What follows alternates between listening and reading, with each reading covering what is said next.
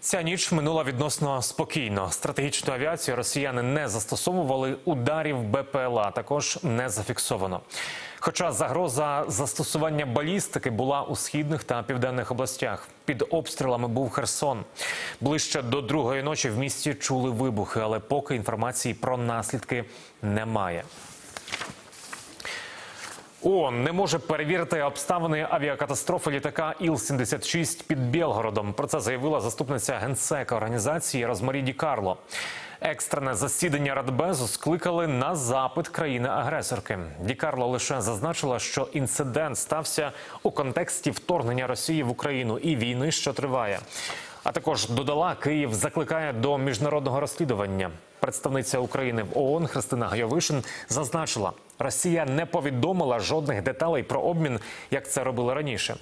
Не вказала маршрут, який транспорт використають для перевезення полонених, і наз... і не зробила запит на режим тиші. А приземлення літака у 30-кілометровій зоні бойових дій це ризик. Тож саме Росія мала подбати про дотримання заходів безпеки. А російські літаки є законною ціллю для українських військових, наголосила представниця України. Американський представник при ООН заявив, що саме російські військові мають відповідати за всі скоєні ними воєнні злочини та інші звірства. І не можна дозволити Кремлю досягти успіху в його спробі стерти незалежну Україну з карти землі та підкорити її народ.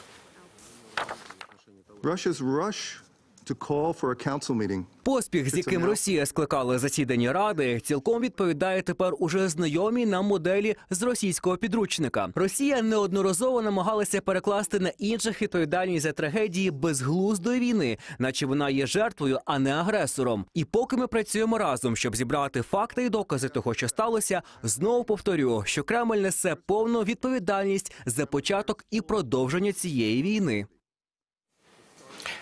Держде- Держдепартамент Сполучених Штатів взаємодіє з українським урядом для з'ясування обставин катастрофи з російським літаком Іл-76 під Білгородом. Адже за участі російської сторони провести перевірку неймовірно важко. Про це розповів на брифінгу заступник речника держдепартаменту. Запевнив, постійно спілкується з представниками української влади щодо ситуації. Зазначив, що президент України Володимир Зеленський уже закликав провести міжнародне розслідування катастрофи, а також статусу українських військовополонених. Та розповів, що надзвичайно складно взаємодіяти з російською стороною, адже уряд країни-агресорки всіляко ускладнює будь-яку можливість перевірити факти. Неймовірно важко взаємодіяти з російською стороною, щоб дізнатися деталі. Адже в Росії відсутнє незалежне висвітлювання ситуації. Там немає вільних незалежних змі. Тож ми просто продовжуємо підтримувати тісний зв'язок з українським урядом, аби встановити факти та з'ясувати, що саме сталося. У списку українських полонених, що поширює російська пропаганда, є люди, яких уже обміняли. Про це розповів уповноважений з прав людини Дмитро Лубінець у коментарі британському телеканалу Sky News напередодні ввечері. Нагадаю, військово-транспортний літак Іл-76 розбився в Росії вранці 24 січня. Москва заявила, що на борту були 65 українських військовополонених. А пропагандистка Маргарита Сімонян опублікувала список. Українські силові відомства не підтвердили, але і не спростували інформації, чи були в літаку наші полонені. Вони намагаються вивчити всю доступну інформацію і закликають до того не робити поспішних висновків.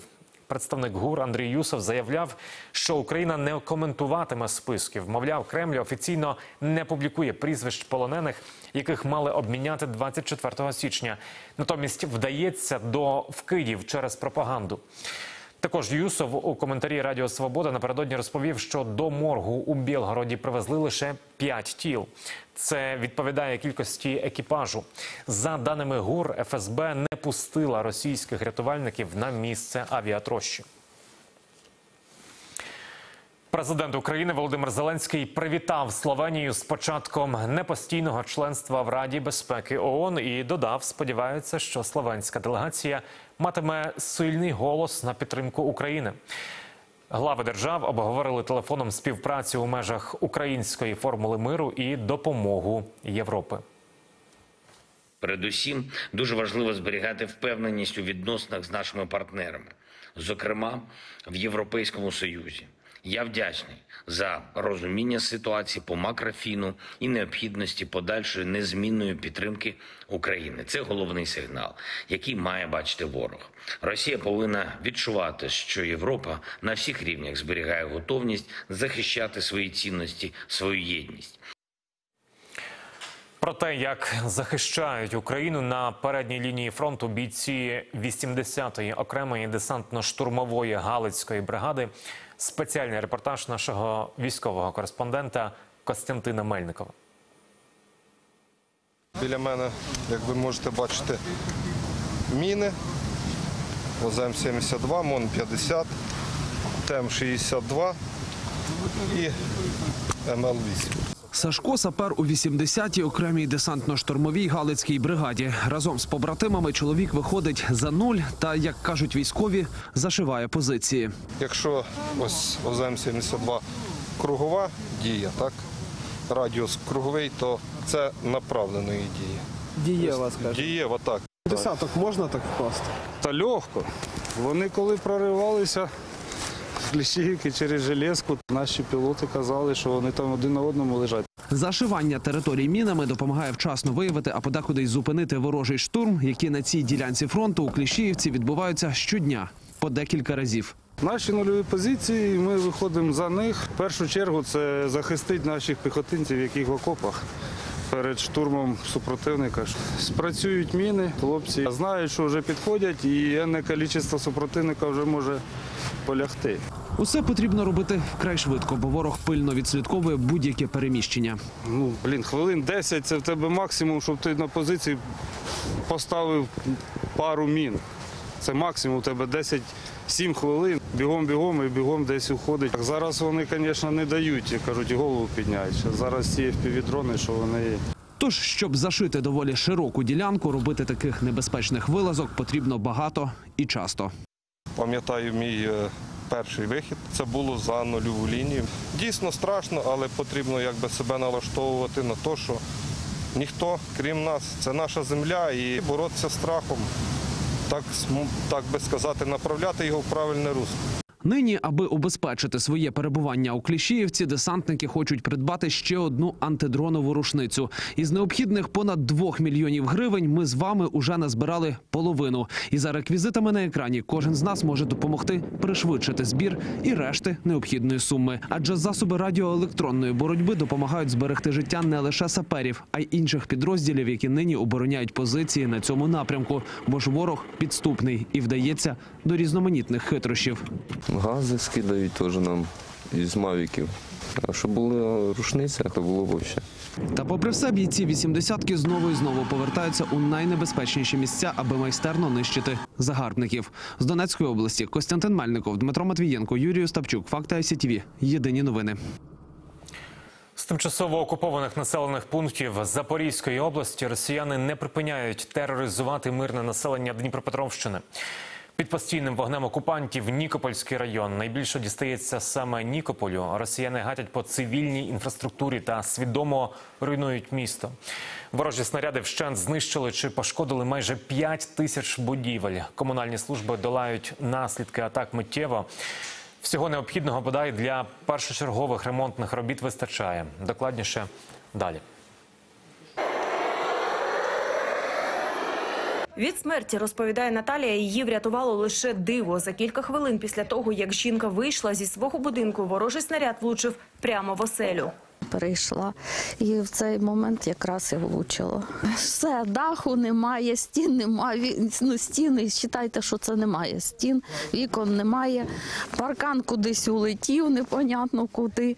Ворота і е, калітка валялась під тією стороною. Росіяни криють артилерією та дронами. Мирні міста та села Нікопольського району чи не щодня. Ворожі снаряди гатять по усіх районах. За понад півтора роки регулярних обстрілів снаряд уперше прилетів поруч із будинком Тетяни. Її родина, на щастя, не постраждала. Попало прямо на вулицю, там яма така е, вирва, забор пошкоджено, врем'янка, тарець, вибито шифер, е, этот, ем, вікна всі во врем'янки повибивані, потолок обрушився в врем'янки.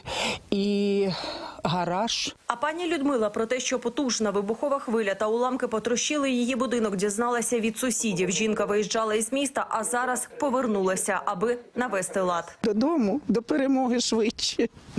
Будемо додому повертатися. Як же відбудовувати, будемо жити і процвітати. Відновлюють побиті росіянами будинки, навчальні та медичні заклади за рахунок міського бюджету. Міжнародні фонди допомагають із будматеріалами.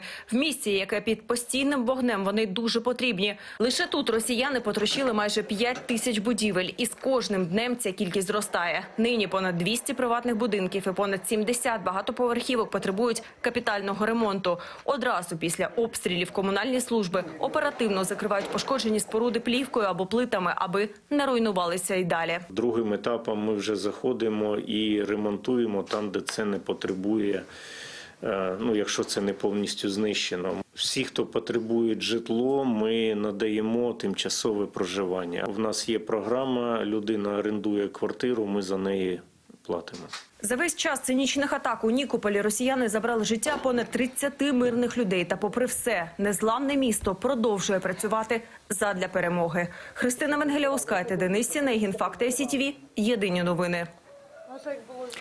Укрзалізниця охоронятиме свої об'єкти за допомогою дронів. Для цього в компанії створять підрозділ операторів БПЛА. Безпілотники будуть використовувати для боротьби з розкраданням майна Укрзалізниці на станціях та перегонах для фіксування пору- правопорушень, виявлення крадіжок пального з локомотивів, нагляд за інфраструктурою під час воєнного стану та для розслідування аварій. У підрозділі працюватимуть ветерани-залізничники, які зазнали поранень на фронті. Виготовляє буржуйки та окопні свічки захисникам на фронт. З перших днів великої війни капітан поліції з Вінниччини Сергій Хрущ узявся допомагати українським оборонцям. Сам учасник бойових дій і добре знає, що потрібно на війні. Ще до повномасштабного вторгнення російських окупантів організував клуб мисливців і рибалок і згодом у соціальних мережах перепрофілював його у спільноту допомоги ЗСУ. Тепер разом з дружиною та сином робить окопні свічки та боржуйки, які відправляє на фронт. Зварювальний апарат уперше взяв до рук лише рік тому. Капітан ювенальної поліції Сергій Хруч разом із родиною виготовляє буржуйки та окопні свічки, які зараз дуже потрібні захисникам на передову. Допомагати ЗСУ почав із перших днів повномасштабного вторгнення. Сам учасник бойових дій ще 2014 року, тож знає, що потрібно на фронті. Зараз, окрім дронів і тепловізорів на передовій, потрібно все для обігріву. Тому чоловік взявся за розробку буржуйок. Вигляд як вигляд, але функцію має робити е, основну віддавати тепло. Передивився багато відео е, і вибрав е, варіант дешевий і сердитий, щоб було, е, щоб було і скоро. Такі опічки теж знесли. Зверху зробиться круг, труба. До чавуна е, є електроди по чавуну, теж дві ручки. Вживані бойлери, балони від газу – все це переробляють на пічки. Привозити сировину правоохоронці люди почали після оголошень у соціальних мережах. Ще до Великої війни Сергій захоплювався рибальством і мисливством. Тоді ж створив групу для однодумців. Тепер це платформа, через яку збирає донати і звітує про зроблену роботу. Виготовляти найнеобхідніше для бійців допомагає дружина і син. Коробки дають на наповнення. Дають мага- в магазинах, беремо баночки. Люди дають, що люди дають, що наші від консервації. Майже добу Сергій витрачає, аби виготовити одну буржуйку. Зазвичай робить це після роботи або у вихідні. І щотижня його пічки йдуть на різні напрямки фронту. Більшість із них розпалюють саме окопними свічками. Сергій постійно експериментує, аби зробити час горіння довшим. Це, наприклад, з дубової тирси. Самі бачите, що коробочка дуже маленька, е, то прогоріло воно півтора години. Майже два десятки буржуйок і півтори тисячі свічок вже отримали 14 бригад на різних напрямках фронту. Аби зробити ще більше для захисників, Сергій навіть запланував відпустку. Людмила Цимбалюк, Анатолій Дмитрів. Факти ICTV. Єдині новини.